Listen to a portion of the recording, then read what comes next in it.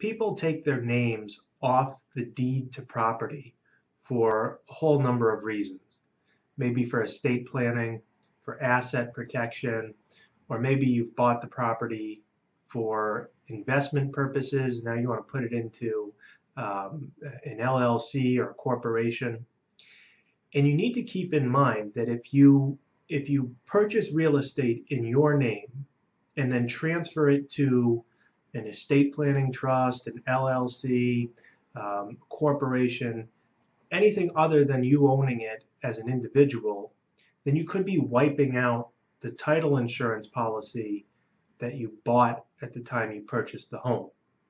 So when you buy a house, you typically buy a title insurance policy, and this policy will cover you if there's any legal claims that arise with the property after you purchase it.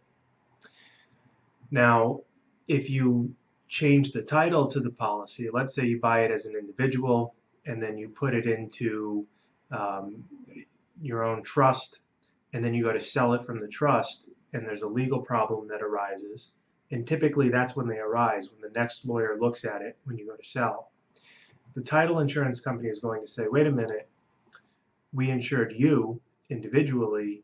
We did not insure this trust that you set up after the fact or this LLC or corporation or whatever other form uh, of ownership that you've created for the property.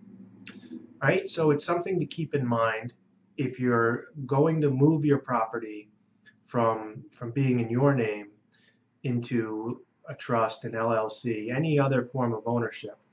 You should talk to your title insurance company and see if the policy is still going to be effective when you when you later on go to sell it or if your heirs go to sell it or whatever it may be.